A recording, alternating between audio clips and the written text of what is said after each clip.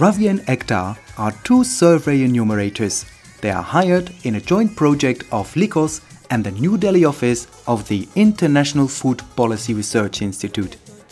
They are conducting a large-scale survey on the dairy sector in Punjab, a state in the northeast of India. Today, they are visiting one of the households that was selected for inclusion in the survey. They will fill out a lengthy list questions about the socioeconomic characteristics of the household.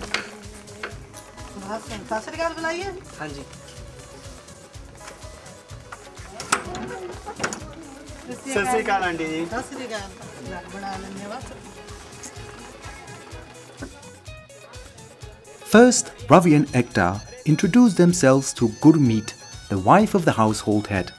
Gaining her trust, is pivotal if they want to obtain any kind of information about her family. In a minute, the whole neighborhood shows up to see what is happening. Gurmeet's son invites Ravi and Ekta to sit down on a charpoy.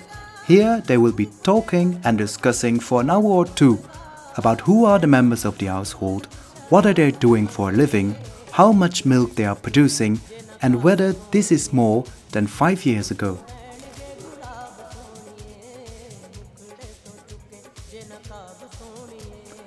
Ravi and Ekta carefully note down each and every answer in a pre-coded questionnaire form. This same 35-page form is used for each of the 1000 households which are being interviewed over a span of 6 weeks.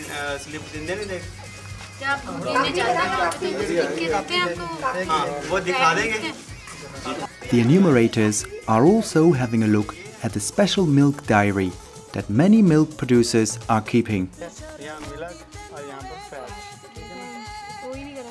This allows them to have a better idea of the price the family is receiving for its milk.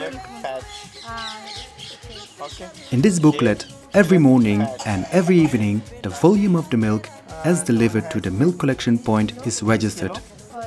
There is also some space to note down the fat content of the milk in case this is measured. Every 10 days, milk producers are paid out.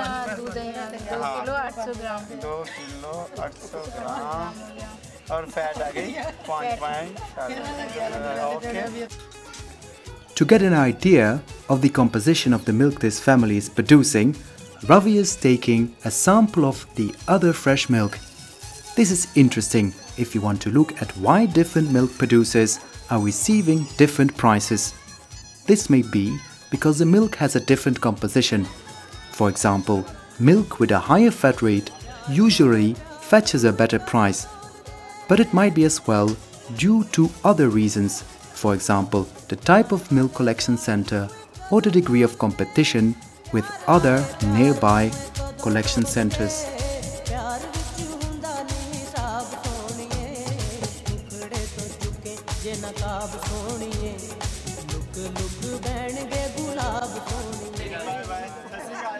After the answers are noted down and the milk sample is taken, the enumerators return to their temporary residence in the house of the village head.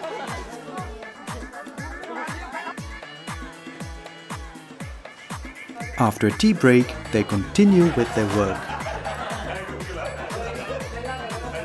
It is now time to measure the composition of the milk sample that was taken earlier today. Ravi is explaining Ekta how to correctly use the electronic milk tester.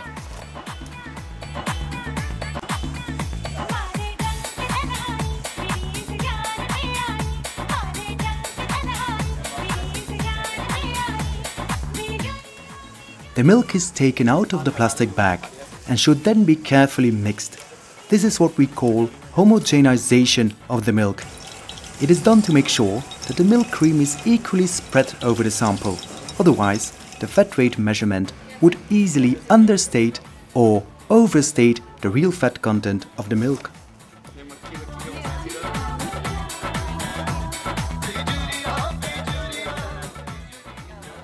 Nevertheless, mixing should be done carefully to avoid the creation of small air bubbles in the milk, which would again skew the measurements results.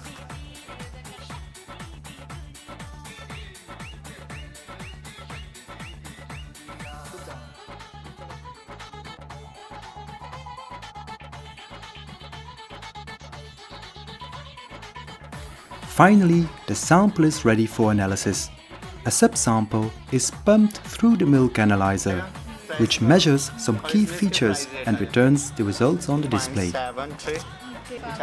The analyzer measures the fat rate of the milk, the content of the non-fat solids, the protein content, the density of the milk, its freezing point, and finally the percentage of water added in case the milk has been diluted.